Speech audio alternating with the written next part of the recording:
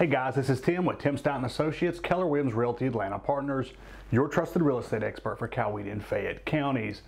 Okay guys, today my expert advice is going to be on why people want to list their homes in the spring.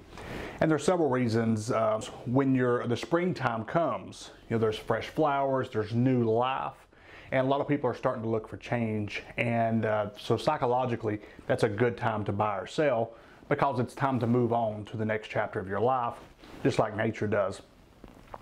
Another reason is it's a it's a calm time, seemingly calm, because we're coming in right after the Thanksgiving, Christmas, and uh, and other holidays. So it seems like it's slowing down a little bit and gives people time to think and reflect about the holidays.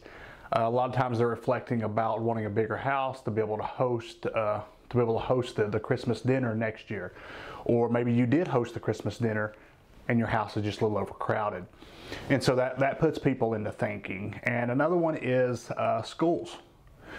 If you list in the spring, you'll be able to uh, sellish in, in the early spring, late summer, which will allow your kids to still have their summer break, but be able to move into the new school year, into the new school if you choose to move in the schools.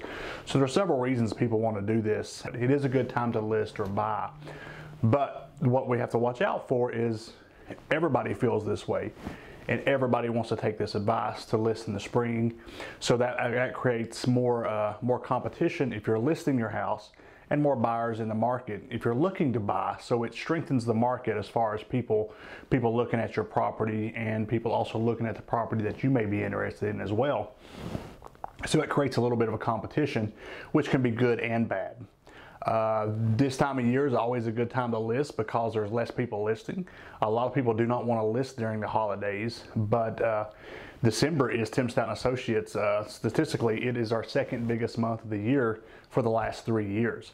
So December seems to be a pretty heavy month for us because the people that are on the fence and deciding who really want to sell we, uh, we coax them into selling now instead of waiting. And because of that, we're able to get a, a higher price and in a quick closing because a lot of people are not looking to, uh, the ones that are looking for properties now, they're not just kicking tires. They're, they're pretty serious. They have to move from a job or, uh, or they're needing to move because they're already under contract. So that allows us to move properties a little bit faster and create more of a uh, buyer buzz with our properties. So that's just a couple things why people want to list during the spring. Uh, could be good, could be bad. Uh, if you're interested, let us know. We'd be happy to help you. Remember, who you work with matters, and have a great day.